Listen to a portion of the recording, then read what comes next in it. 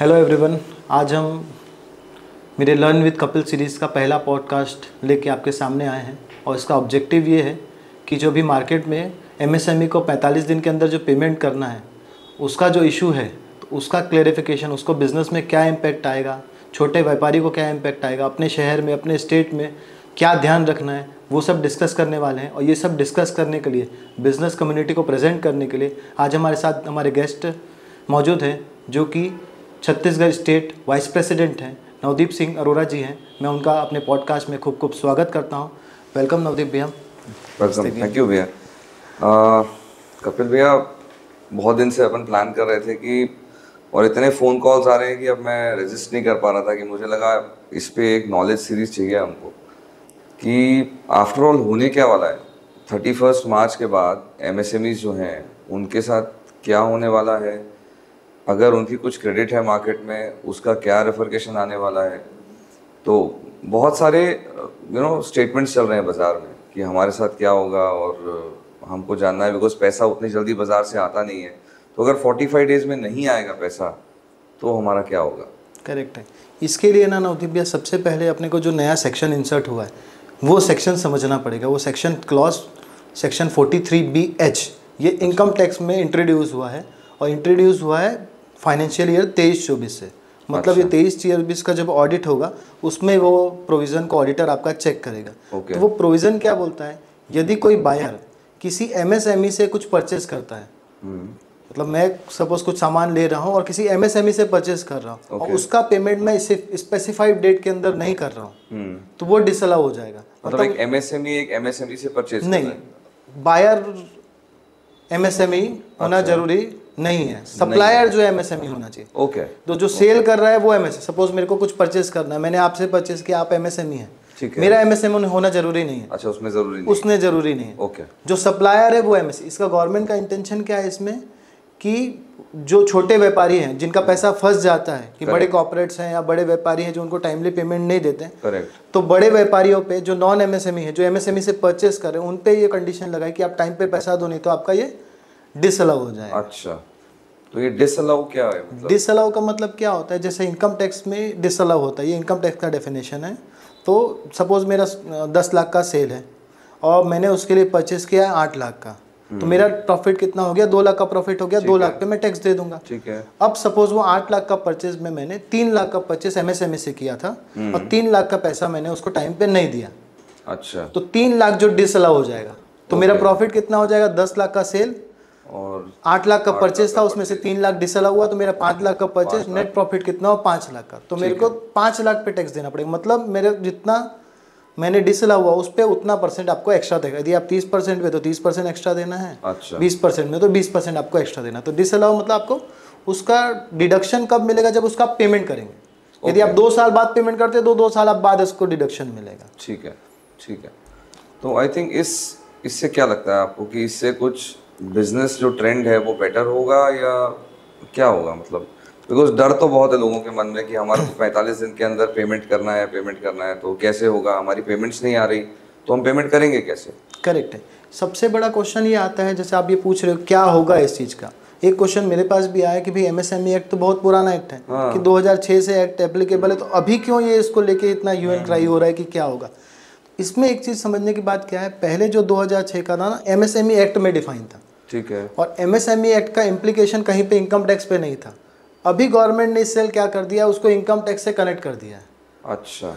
तो एमएसएमई में जब कोई वेंडर एमएसएमई को पेमेंट नहीं करता है तो वो कोर्ट में जा के उससे क्लेम कर सकता है उसे इंटरेस्ट भी ले सकता है। आपके नॉलेज के लिए बताऊँ यदि मैं एमएसएमई हूँ मैं आपसे कुछ परचेस कर रहा हूँ आप मेरे को टाइम पे पेमेंट नहीं कर रहे हैं तो मैं आपसे वो अमाउंट क्लेम कर सकता हूँ और आपसे इंटरेस्ट भी चार्ज कर सकता हूँ। कितना इंटरेस्ट थ्री टाइम का बैंकिंग रेट अच्छा। यदि बैंक रेट मेरा भी आठ परसेंट चल रहा है तो एट इंटू थ्री टाइम मैं आपसे चार्ज कर सकता अच्छा। हूँ। तो वो बहुत पावर दिया हुआ था एमएसएमई को। लेकिन वो पावर कहाँ पे था? एमएसएमई एक्ट में था। लेकिन इस साल से गवर्नमेंट ने क्या किया? उसको इनकम टैक्स से लिंक कर दिया।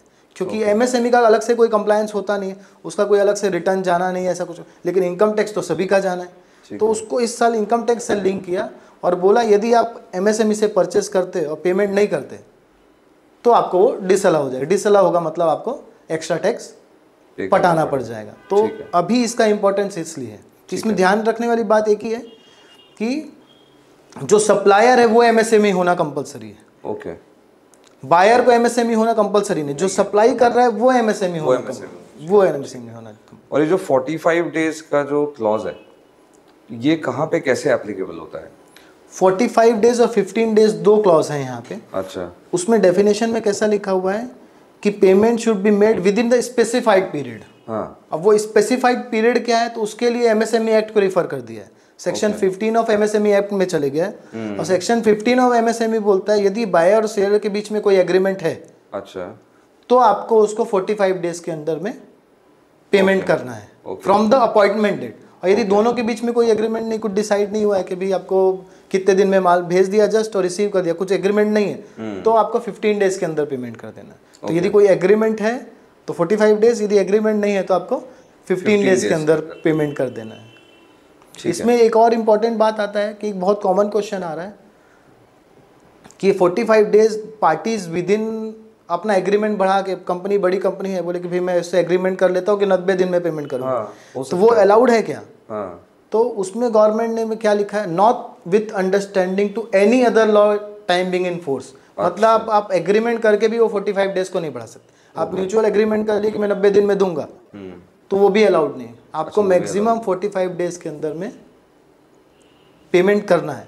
यदि आपके बीच में एग्रीमेंट है तो यदि एग्रीमेंट नहीं है तो आपको 15 डेज़ में करना। एंड गवर्नमेंट के पास पूरे रिकॉर्ड्स होंगे सर इसके बिकॉज़ हर पार्टी का रिकॉर्ड होना इस चीज़ पे करेक्ट है। गवर्नमेंट के पास रिकॉर्ड होने के लिए क्या है ना गवर्नमेंट ये पूरी रिस्पॉन्सिबिलिटी टैक्स ऑडिटर पे डाल दी है। ओके ऑडिटर जो चेक करता है ऑडिट करता है बुक्स ऑफ़ अकाउंट और गवर्नमेंट को टैक्स ऑडिट में रिपोर्ट करता है। तो वहाँ पे उसको रिपोर्ट करना है कि ये एमएसएमई का ये प्रोविज़न का कंप्लायंस हुआ है कि नहीं हुआ। यदि नहीं हुआ होगा तो वो उसको डिसअलाउ करेगा।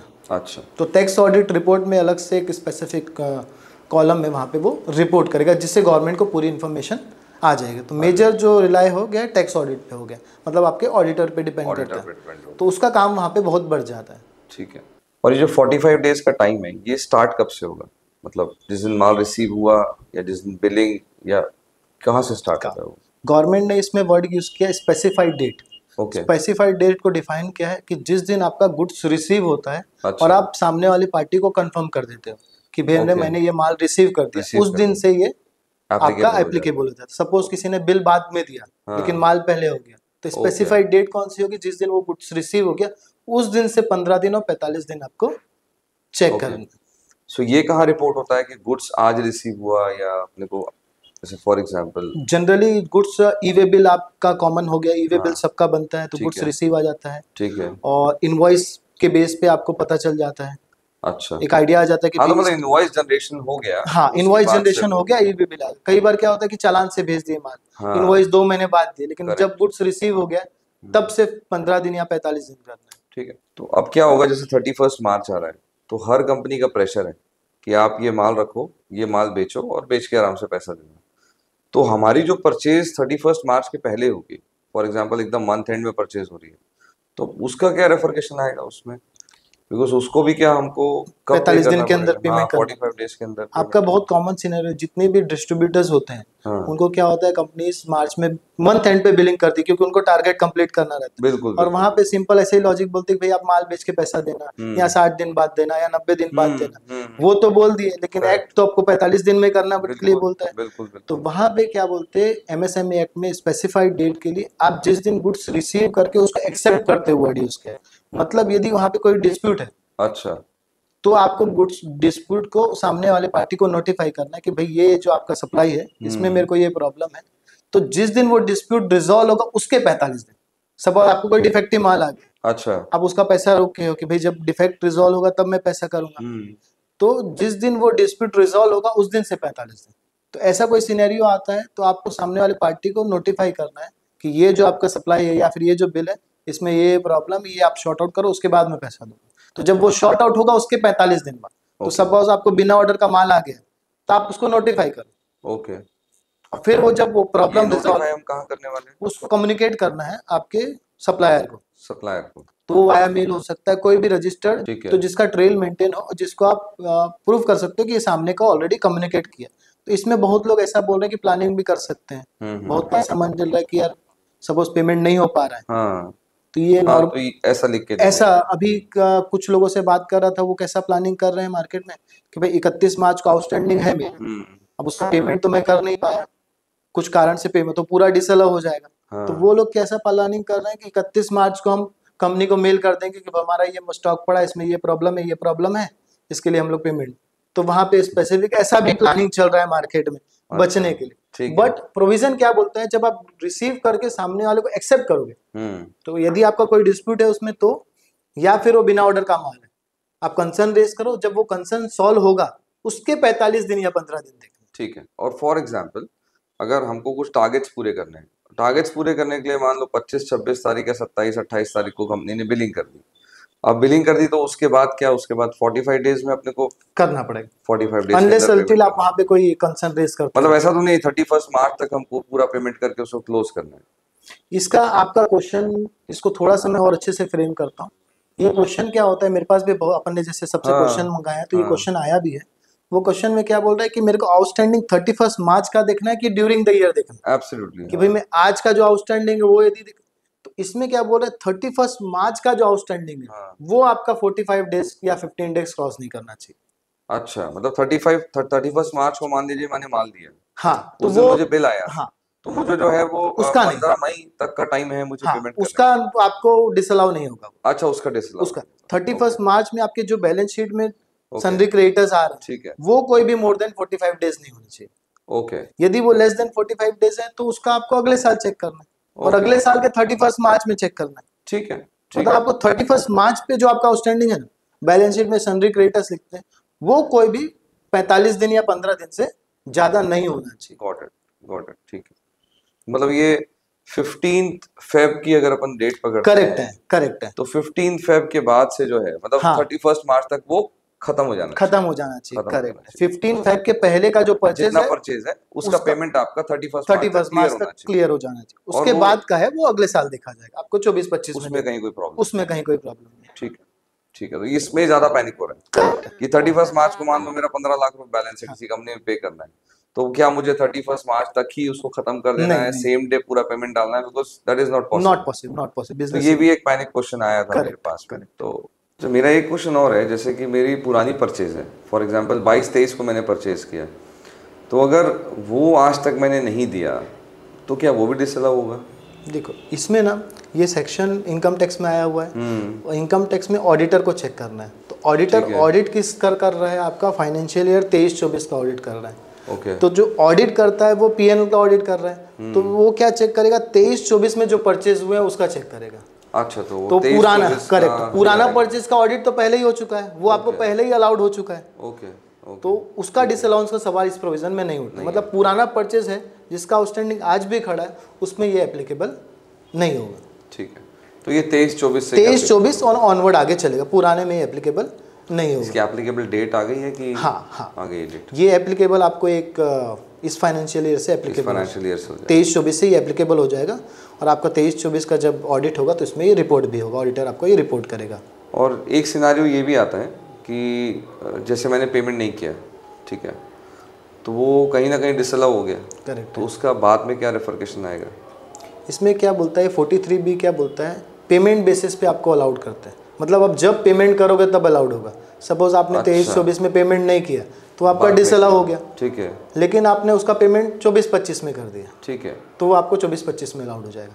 allowed हो जाएगा। अलाउड हो जाएगा। इसमें बहुत एक छोटा सा पॉइंट ऐसा है कि गलती से आज सपोज़ आपको थर्टी फ़र्स्ट मार्च तक पेमेंट नहीं किया आपने हाँ। तो वो डिसअलाउ और आपने एक अप्रैल को पेमेंट किया तो भी आपको साल भर के लिए डिसअलाउ हो जाएगा। तो आपके जो अच्छा। इमीडिएट जो पेमेंट ड्यू हो रहे हैं कि भाई अप्रैल में जो करना ही है तो उसको थर्टी फ़र्स्ट तक कर लो पैंतालीस दिन तक। नहीं तो वो दस पंद्रह दिन या दो दिन के लिए आपको पूरा साल भर अलाउड होने के लिए वेट करना पड़ेगा। नेक्स्ट ऑडिट में आपको नेक्स्ट रिटर्न में वो अलाउड होगा। But it's better thirty first March तक करेक्ट तो आपको आप जैसे बताया कि 15 फरवरी को एक बार बैलेंस शीट को देख लो कौन कौन से ऐसे परचेज हैं जो 45 डेज़ कंप्लीट हो रहे हैं उसका पेमेंट 31 मार्च तक कर दो। उसमें ऐसा ज़रूरी नहीं कि आपको 15 फरवरी तक करना है। ठीक है। मार्च के बैलेंस शीट में आपका कोई भी 45 डेज़ से प्लस वाला नहीं आना नहीं चाहिए। कौन सा जो तेईस चौबीस का परचेज 23 24 पुराना परचेज का आ रहा है तो उसमें कोई दिक्कत? तो यहाँ पे बात हो रही है एमएसएमईज की। तो अगर अपन एमएसएमई बोलते हैं तो एमएसएमई कोई छोटा टर्म नहीं है सर। आज के डेट में एमएसएमई बहुत बड़ा टर्म है।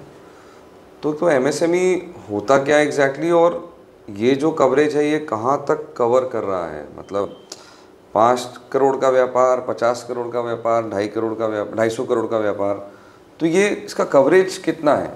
एम एस में अगर अपन बात करते हैं फोर्टी फाइव डेज़ का एप्लीकेशन का तो उसमें उसको थोड़ा आप बताइए ना सर। इसमें ना जो सेक्शन 43 बी है उसमें एमएसएमई को डिफाइन करने के लिए एमएसएमई एक्ट रेफर किया है। कि बोला आप उसकी डेफिनेशन देखना है तो एमएसएमई एक्ट में देखो। तो एमएसएमई क्या होता है? Micro small and medium enterprises correct तीन क्राइटेरिया आते हैं उसमें। बिल्कुल। तो स्मॉल एंड माइक्रो के लिए ये जो प्रोविज़न है एप्लीकेबल है। मीडियम के लिए प्रोविज़न एप्लीकेबल नहीं है। नहीं है। अच्छा। ठीक है?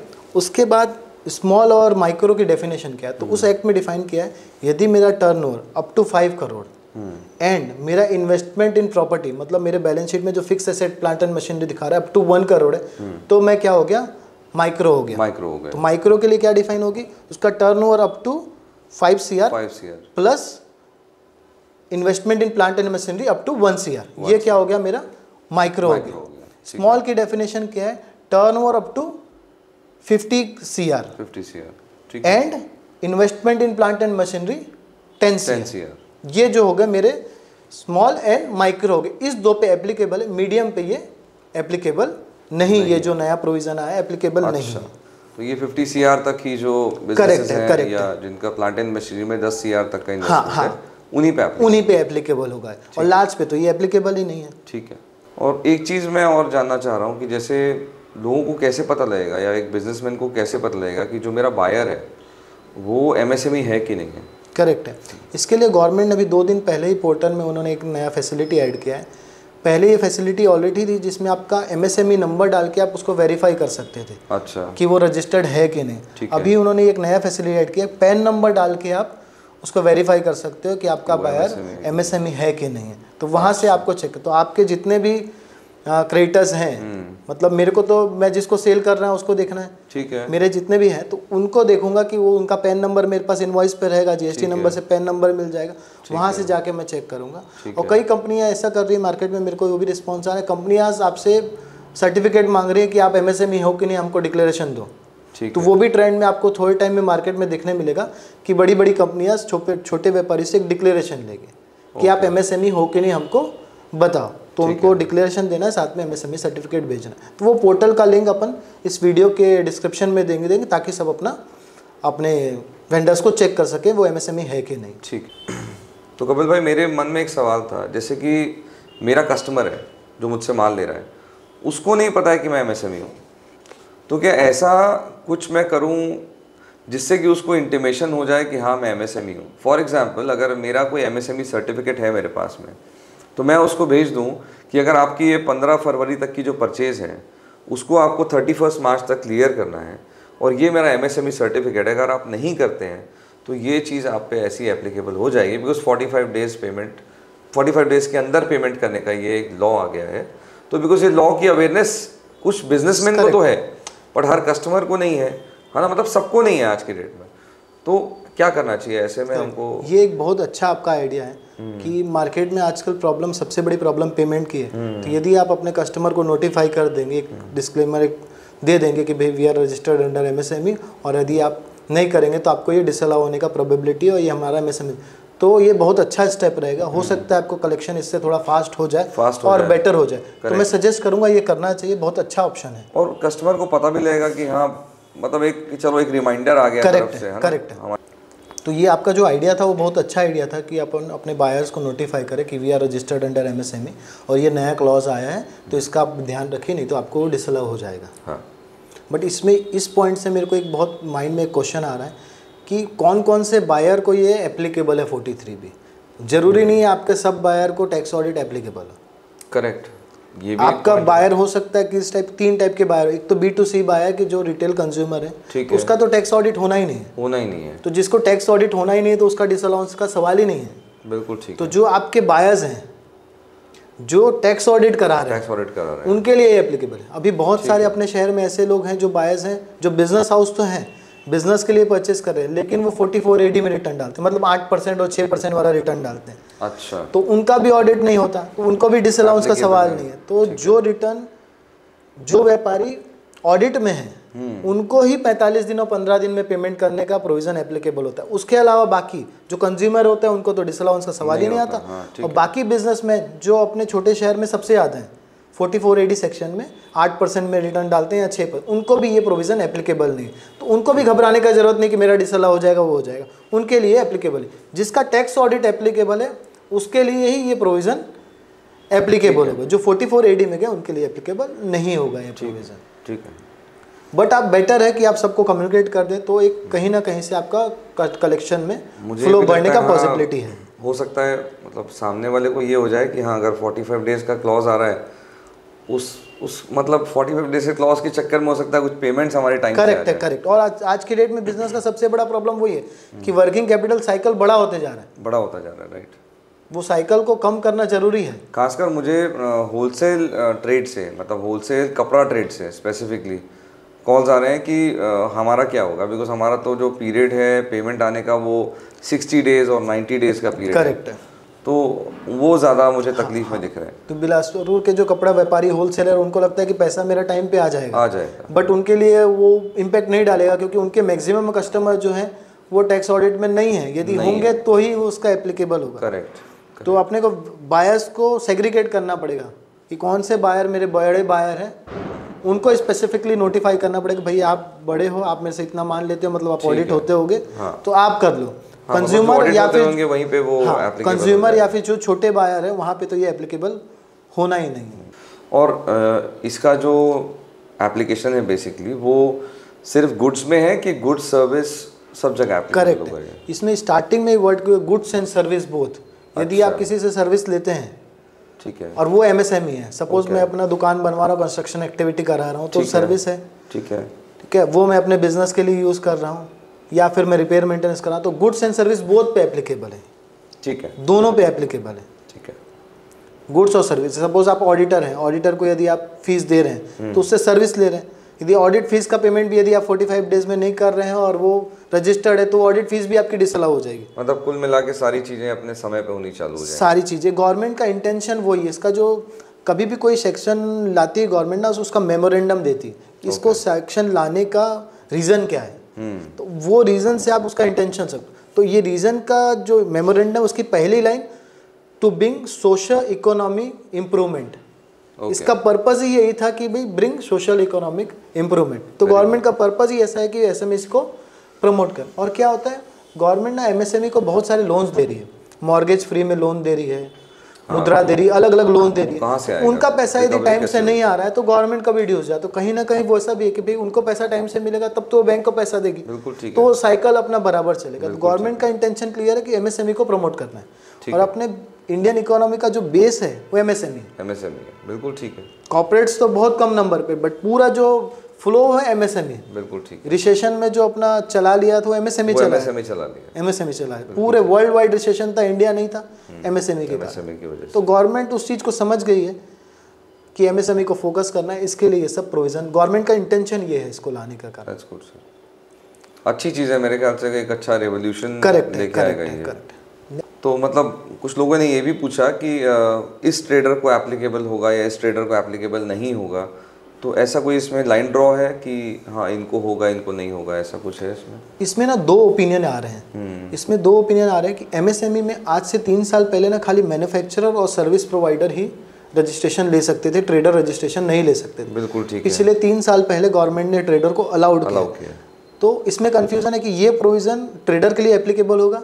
मतलब मैं किसी ट्रेडर से माल ले रहा हूँ और वो एमएसएमई है तो वो डिसअलाउ होगा कि नहीं होगा? तो इसमें दोनों प्रोविज़न है। कोई बोल रहा है कि ट्रेडर को एप्लीकेबल है कोई बोल रहा है ट्रेडर को नहीं है। बट अच्छा। मैं जिनको फॉलो करता हूँ इंडस्ट्री के जो एक्सपर्ट्स हैं टॉप लेवल पे बैठे हुए हैं सुप्रीम कोर्ट के एडवोकेट हैं और एक सी इंस्टीट्यूट में बहुत बड़े बड़े जो नाम हैं उनका ये ओपिनियन आ रहा है कि ट्रेडर को ये एप्लीकेबल नहीं है। क्योंकि ट्रेडर को जो रजिस्ट्रेशन दे रहे हैं एमएसएमई में वो only for the priority sector lending मतलब खाली लैंडिंग के बेनिफिट के लिए ही ट्रेडर को रजिस्टर कर रहे हैं वो लोग। अच्छा। बाकी बेनिफिट के लिए ट्रेडर इंक्लूड नहीं। तो मेरा ओपिनियन भी उनसे मैच करता है कि ये जो नया प्रोविज़न आया है ये ट्रेडर को एप्लीकेबल है। इसका मतलब क्या होगा कि मैं किसी ट्रेडर से परचेस किया। वो ट्रेडर जो है वो एमएसएमई रजिस्टर्ड है। और मैंने उसको टाइम पे पेमेंट नहीं दिया। तो ये एप्लीकेबल होगा? नहीं होगा। क्यों? क्योंकि वो ट्रेडर है। अच्छा। मेरा ओपिनियन और बड़े बड़े जो टॉप क्लास में जिनको फॉलो करता हूँ उनका भी यही ओपिनियन आ रहा है कि ट्रेडर पे ही एप्लीकेबल नहीं होगा। तो अपने शहर में ज़्यादा घबराने की ज़रूरत नहीं है इसको लेके अच्छा। क्योंकि मैक्सिमम जो बिज़नेस होता है बिटवीन द ट्रेडर होता है। बिल्कुल ठीक है। मतलब मेजर चंक इसमें लेफ़्ट आउट हो जाएगा लेफ़्ट आउट हो जाएगा। अच्छा। अपने शहर में दो बड़े चंक है। एक तो छोटे व्यापारी जो 44 एडी में जाते हैं। हाँ। बिल्कुल 44 एडी का जो टर्नओवर का लिमिट है दो करोड़ है। हम्म। तो उसमें बहुत निकल जाते हैं। और बाकी जो बचे ट्रेडर में निकल जाते हैं तो अपने शहर के हिसाब से या छोटे शहर के हिसाब से मेजर चंक इसमें से बाहर हो हो जाए। और अपना मैन्युफैक्चरिंग हब नहीं है। यदि मैन्युफैक्चरिंग हब होता सपोज़ यहाँ पे इंडस्ट्रियल एरिया होता हम्म। Industry होती तो तो, छोटे छोटे व्यापारी कंपनीज़ को प्लांट को सप्लाई करते। हम्म। तो वहाँ अपने यहाँ ऐसा सिनेरियो है नहीं।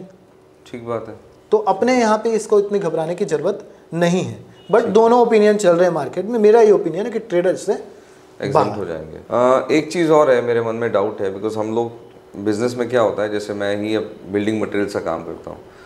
हम किसी कॉन्ट्रैक्टर को देते हैं और कॉन्ट्रैक्टर आगे देता है। फॉर एग्जांपल गवर्नमेंट को देता है नगर निगम को देता है या पीडब्ल्यूडी को देता है। तो जब वैसी कोई सप्लाई होती है और वहाँ पेमेंट्स डिले होते हैं तो उस सिनेरियो में क्या होगा? करेक्ट है। जब गवर्नमेंट से ही पेमेंट लेट आएगी हमको तो हम आगे कैसे पे करेंगे? ये भी मेरा सवाल है करेक्ट है। इसमें ना ये सिंपल सा एकदम अपन लॉजिक स्ट्रेट फॉरवर्ड जाए। ये जो प्रोविज़न आया है इनकम टैक्स पे आया है अच्छा। 43 बी और इनकम टैक्स वाला प्रोविज़न किस पे एप्लीकेबल होना है? जिसका टैक्स ऑडिट होता है। तो जिसका टैक्स ऑडिट होगा उसको डिसअलाउ होगा। अच्छा। यदि आप गवर्नमेंट को सप्लाई कर रहे हैं गवर्नमेंट का तो टैक्स ऑडिट होता नहीं होता तो उसको एप्लीकेबल ही नहीं। मतलब आपको गवर्नमेंट को सप्लाई कर रहे हैं और वहाँ डिले पेमेंट है तो वहाँ इसका कोई बेनिफिट नहीं मिलेगा। नहीं मिलेगा। लेकिन एमएसएमई एक्ट में आप बेनिफिट ले सकते हैं। एमएसएमई एक्ट अलग से बोलता है कि यदि आपको 45 डेज़ के अंदर पेमेंट नहीं कर सकता है तो आप उससे क्लेम कर सकते हो। यदि आप कोर्ट में एमएसएमई एक्ट के कोर्ट जाएँगे तो आप रिकवरी इजीली ले सकते हो। ये बहुत लोगों को नहीं पता है हाँ। कि आपको एमएसएमई एक्ट बहुत राइट देता है रिकवरी का इन रिस्पेक्टिव ऑफ़ अवेयरनेस मुझे भी नहीं थी। हाँ हाँ। कि बिकॉज़ क्या है आज हम हम लोग हमको सुनने में आता है कि तीन तीन महीने छः छः महीने से पेमेंट अटकी हुई है गवर्नमेंट से पेमेंट नहीं आ रही। तो अगर अ, वैसा कोई क्लॉज गवर्नमेंट के केसेस में भी हो मेरे- मुझे लगता है तो थोड़ा Correct. सा एक बिजनेसमैन हाँ, के लिए इजी हो जाएगा। तो वो उसको इनकम टैक्स के थ्रू बेनिफिट नहीं मिलेगा उसका डिसला होगा नहीं। लेकिन आप एमएसएमई एक्ट के थ्रू जाके through उससे तो। रिकवरी करा सकते हो। खाली आपको एक ही चीज़ देखना है कि वो गुड्स एक्सेप्ट कर लिया और 45 दिन हुआ कि नहीं हुआ। ठीक है। गुड्स एक्सपेक्ट उसके 45 दिन बोला है वहाँ। Within forty five forty five तो उसके बाद आप क्लेम कर सकते हो। आप इंटरेस्ट भी क्लेम कर सकते हो। इंटरेस्ट कितना क्लेम कर सकते हो? थ्री टाइम क्लेम सकते हो। तो ये अवेयरनेस नहीं है मार्केट में। ये अवेयरनेस आएगी तो आप उस तरीके से भी इसका प्रोविज़न का बेनिफिट उठा सकते वेरी गुड एक आध सेशन अपन एमएसएमई पे भी करेंगे सर। करेक्ट बहुत सारे बेनिफिट एमएसएमई पे गवर्नमेंट ने दे के रखे बिकॉज़ इतने लोग रजिस्टर हो चुके हैं एमएसएमई में तो एमएसएमई के क्या बेनिफिट्स हैं? करेक्ट उस करेक्ट पे भी अपन अपन एक चर्चा कर सकते हैं। अपन एक नेक्स्ट पॉडकास्ट प्लान कर सकते हैं जिसमें एमएसएमई के बेनिफिट्स क्या हैं उस पर अपन डिस्कशन कर सकते हैं। ठीक है नवदीप भैया थैंक यू आपको यहाँ पे आने के लिए इतने सारे क्वेश्चन आने के लिए। थैंक यू कपिल भैया। मैं अपने ऑडियंस को भी थैंक्स बोलना चाहूँगा। उन्होंने बहुत सारे क्वेश्चंस भेजे। हमने मैक्सिमम क्वेश्चन का आंसर करने की कोशिश की है। यदि आपको लगता है आपके क्वेश्चन और भी छूट गए हैं, या फिर आपको कोई नए क्वेश्चंस भी आ रहे हैं तो हमने हमारे सोशल मीडिया में नंबर्स दिए हैं। वहाँ पे आप व्हाट्सअप करके, या फिर इस वीडियो के कमेंट में आप अपने क्वेश्चंस पोस्ट कर सकते हैं। और यदि अच्छे क्वेश्चंस रहेंगे, और रिलेवेंट क्वेश्चन जो सबको एप्लीकेबल रहेंगे तो उसका आंसर हम लोग नेक्स्ट वीडियो में देने की कोशिश करेंगे। और यदि आपको इस टाइप का कंटेंट पसंद आता है कि बिज़नेस मैन की लैंग्वेज में यदि टेक्स्ट को आप समझना चाहते हो तो मेरे चैनल लर्न विद कपिल को फॉलो कर सकते हो और आप रेगुलरली छोटे छोटे वीडियोस के द्वारा अपने बिज़नेस के टैक्सेशन को समझ सकते हो। थैंक यू एवरीवन यदि आपकी वीडियो पसंद आया तो लाइक सब्सक्राइब एंड शेयर ज़रूर करिए। Thank you thank you Navdeep भैया। थैंक यू भैया।